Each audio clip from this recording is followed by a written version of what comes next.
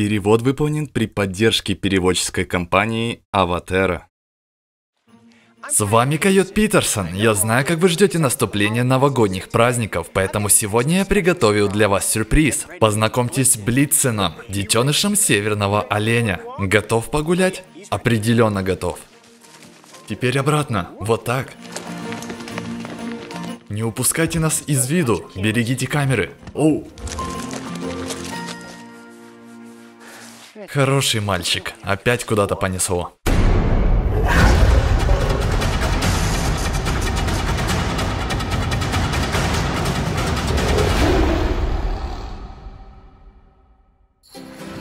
На протяжении нескольких месяцев мы выпускали эпизоды, которые сняли в заповеднике Стива Крошеля в Хейнси, штат Аляска. Мне посчастливилось искупаться в реке с норкой, подобраться с камерой в потную класке, поиграть с рыжим лисенком и даже пообщаться с Росомахой.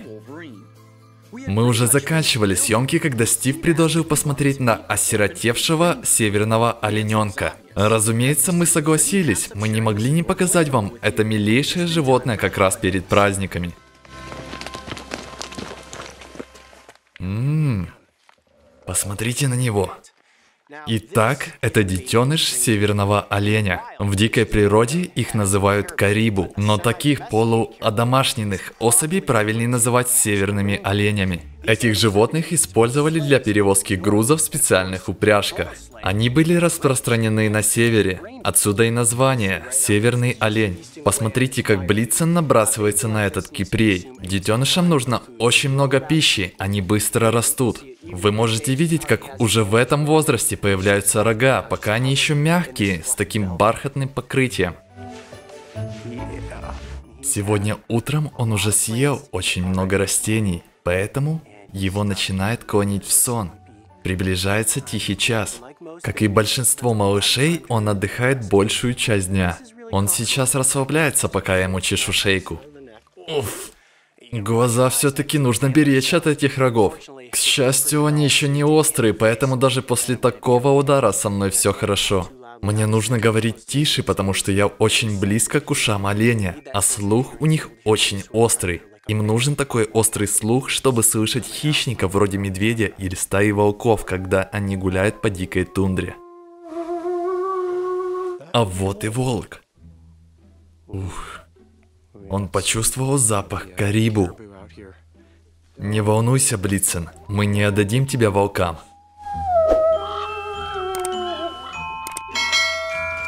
Я мог бы сказать, что выгуливаю оленя, но на самом деле это он выгуливает меня, видите? Теперь он хочет вернуться туда. Какая тут вкусняшка. Ммм. Что это? Это лесная борода. Это лишайник, и его называют лесной бородой, потому что он свисает с веток деревьев и очень напоминает бороду. Блицен впервые пробует лесную бороду, и она, судя по всему, ему очень нравится. В дикой природе ветки деревьев расположены вот так, и с них свисает этот лишайник. Карибу подходят к ветке и таким образом питаются. Это очень естественно для оленя, и вы сами видите, как ему нравится этот завтрак из лесной бороды. Пожалуй, протиснусь вот так. Ну? Как завтрак, Блицен? Нравится? Я в опасном положении, прямо под оленем. Но я хотел бы показать вам вблизи их копыта. Смотрите, они у них расширенные в виде полумесяца. Таким образом, копыта превращаются в снегоступы. Это позволяет им не проваливаться в снег. Могло ли вам прийти в голову, что я залезу под оленя? Вернемся, пожалуй, к голове, а то тут опасно. Теперь давайте взглянем на мех. Видите, какой он мягкий и пушистый?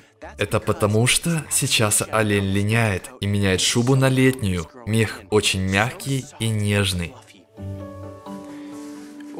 Смотрите, он уткнулся носом мне в руку. Он достаточно поел этим утром. Кажется, теперь он устал. По-моему, он засыпает, я чувствую, как тяжелеет его голова. Блицен съел много растений, посмотрим, захочет ли он молоко. О, вы только гляньте, молоко ему определенно нравится. Еще один интересный факт. Почти у всех самцов и самок карибу растут рога. У самцов размах рогов намного больше, чем у самок. И скоро... О, осторожно, какой же он голодный. Скоро у Блицина будут красивые раскидистые рога. Посмотрите, как быстро он пьет молоко. Ничего себе. Ух ты. Молоко ты мастерски выдул, в этом тебе нет равных. Наверное, Санта тебя не пускает в дома, потому что ты сразу сметаешь все печенье с молоком, да? Ну вот, молоко кончилось. Все спрашивали, зачем я отрастил бороду перед Аляской. Я подумал, что идеально впишусь, и как видите, этому олененку нравится. Уф, он отрыгнул мне в лицо. Ему нравится моя борода. Кажется, он сейчас уснет.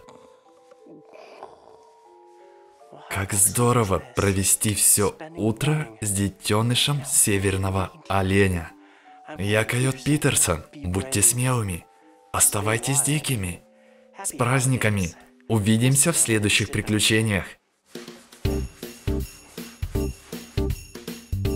Если вы думаете, что Блицин самое милое животное Аляски, посмотрите предыдущий эпизод в котором я играл в перетягивание каната с лисенком. И не забывайте подписываться и включать колокольчик, чтобы не пропускать новых приключений с Койотом Питерсоном. It's very.